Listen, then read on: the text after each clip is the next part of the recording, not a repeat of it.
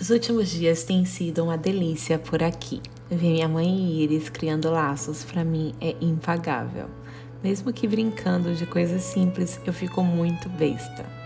Nesse dia a gente simplesmente tinha pego um dos brinquedos que a Iris ganhou de aniversário e ela amou brincar com a vassoura e com os kits de limpeza dela.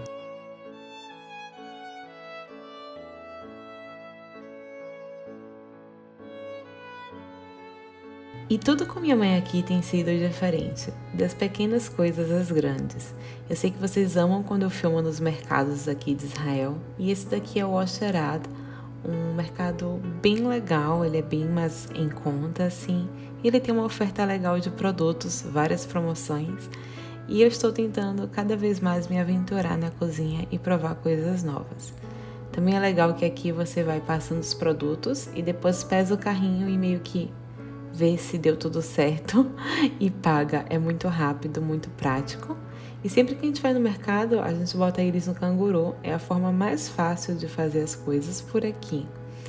Então ela fica olhando para tudo, atenta e pedindo várias coisas, que agora ela faz sinal de vem para as coisas que ela quer. É muito fofo. Estamos entre safras, então as frutas, legumes, as coisas que eu gosto estão meio que em falta, mas as maçãs estão lindas, né? E minha mãe sempre ama fazer mercado aqui em Israel, é sempre uma aventura para ela. A maioria dos rótulos é em hebraico e ela fica descobrindo tudo e, enfim. Ela ama também pesar as frutas, porque aqui a gente pesa frutas e carnes e vai botando preço em cada uma de acordo com cada carne.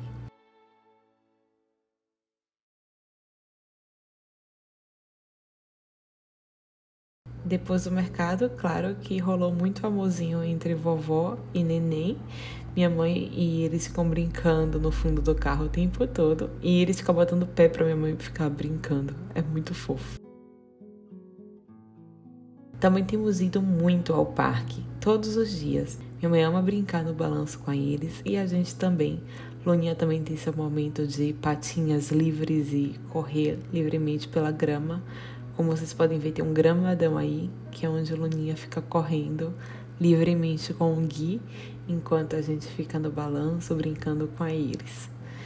Esses momentos em família estão sendo muito doces para mim e eu estou realmente muito feliz em poder estar vivendo tudo isso finalmente com minha mãe. Claro que depois do parque, o bebê fica faminto e vai comer manga, e dar manga pro papai também. Por que não?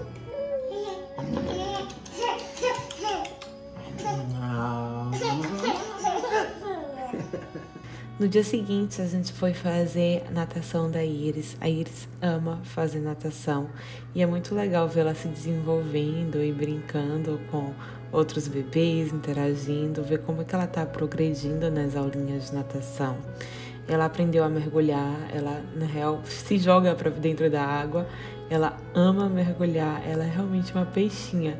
E tinha duas supervisoras do lado, vocês veem que ela olha para essas duas supervisoras que estavam olhando se tava o que, é que os bebês estavam fazendo, o desenvolvimento deles, e ela fica olhando para elas e se jogando para mostrar que ela sabe mergulhar, enfim, para fazer palhaçada, porque para quem não sabe, a Iris é muito palhacinha. É o meu ponto alto da semana, as aulinhas de natação com a Iris. É um momento só nosso, então vocês vão ver que geralmente quem faz as aulinhas sou eu.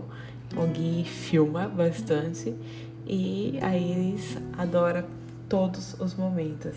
Ela adora brincar no espaguete.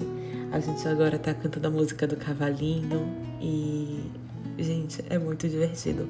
Se vocês têm a oportunidade, eu sei que não é não, não, é todo mundo que tem uma natação perto de casa, não é todo mundo que pode, mas se vocês tiverem a oportunidade de fazer natação com o bebê de vocês, é uma coisa que eu recomendo extremamente, porque é muito enriquecedor, é muito gostoso.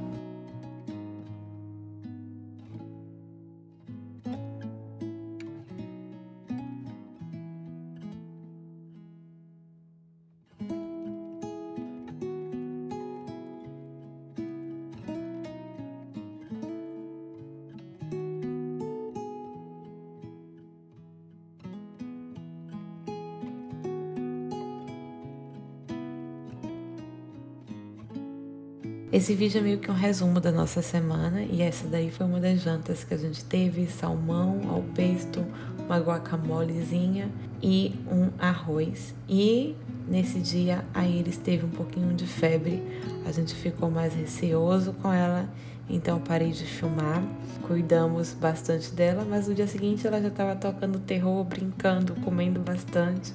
Eu até marquei uma consulta por telefone com a médica dela e a médica me perguntou: Ah, ela parou de comer? Eu falei: Médica, doutora, no dia que minha filha não comer, eu corro no hospital, nem te ligo. Eu vou direto pro hospital, porque ela come direitinho, né? Aí eles comem bastante. Então, no dia seguinte ela já estava aí fazendo palhaçada e comendo bastante frutinhas que ela ama.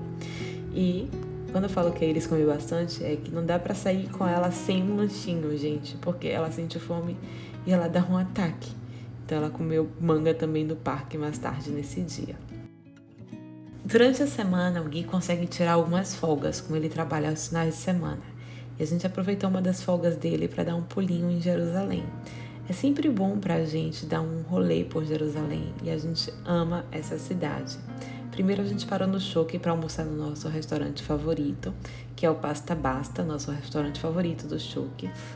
Mas claro que eu tive que namorar todas as comidinhas e toda a beleza que é o Choque. Para quem não sabe, Choque é mercado.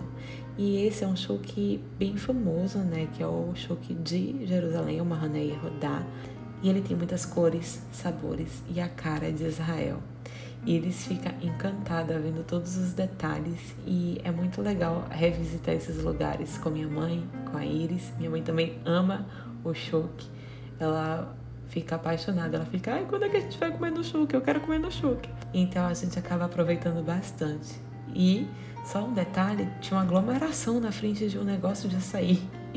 Então tá popularizando açaí aqui.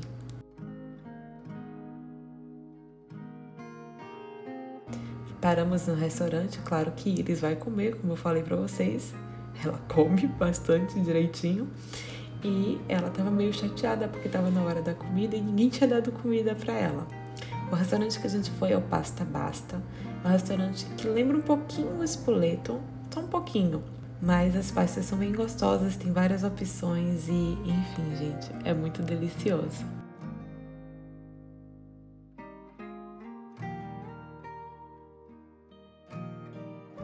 Eu sempre levo frutas para todos os lugares que eu vou, mas eu acabei pedindo um ravioli e as opções que eu pedi estavam bem legais para dar para Iris. Então eu peguei também um pouquinho de ravioli para ela. A pasta do Pasta Basta, ela é muito gostosa. As opções são muito legais e não tem opção com carne, só para vocês saberem, porque lá é cachê mas tem a opção com peixe e várias coisas. E você vai meio que montando a sua pasta de acordo com o que você quer.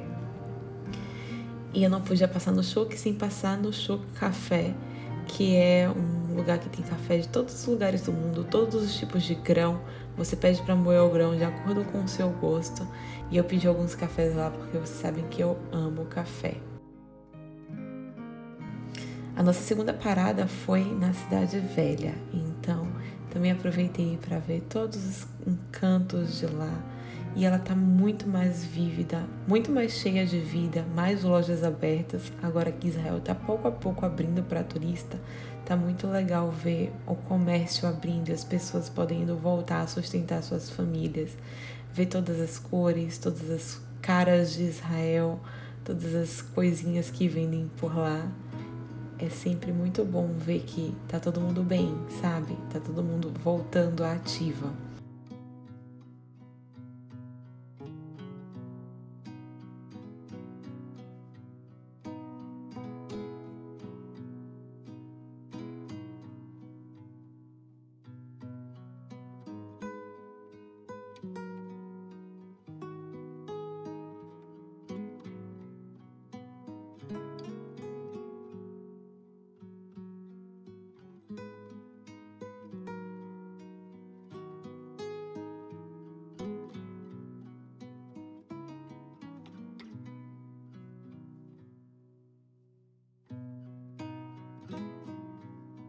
E já que estávamos na Cidade Velha, claro que tínhamos que dar uma paradinha no Cotel, Então fomos ao Muro das Lamentações, como vocês conhecem, e rezamos, agradecemos muito, porque a gente tem muito o que agradecer.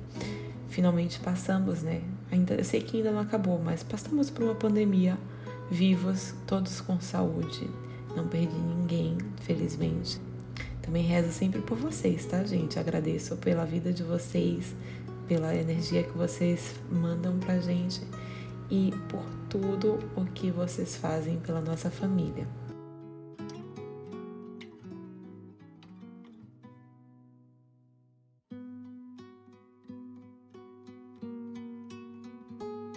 E, gente, esse foi um resuminho da nossa semana para vocês, a nossa semana em família, nossa nova rotina, agora com a mamãe aqui. queria mostrar muito para vocês como tá essa fase muito gostosa da Iris, que finalmente tá andando. Eu acho que eu não peguei nenhuma cena, mas agora ela tá andando e só quer andar, gente. O próximo vídeo é mais focado nessa transição, mas eu queria mostrar para vocês um pouquinho dessa fase gostosa que a gente tá e, gente, tá muito delícia, tá muito cansativo, como eu falei para vocês na comunidade, tá muito puxado, mas tá muito delícia ver o crescimento, o desenvolvimento dela, ajustar nossa família e agora ter minha mãe junto com a gente. É impagável. E olha, outra coisa impagável é essa carinha, gente. Iris fica muito feliz nos dias que ela passeia. Então, esses passeios longos, essas viagens, ela é uma aventureira, gente. Ela fica muito feliz nesses dias, com muita energia e é muito legal ver tudo isso. E é isso, espero que vocês tenham gostado. Se vocês gostaram, deem muito like. Se vocês são novos aqui, se inscrevam no canal para acompanhar nossa vida, nossa família, nossa rotina aqui em Israel. Um beijo, eu amo vocês e até os próximos vlogs, vídeos e tudo mais. Tchau, tchau!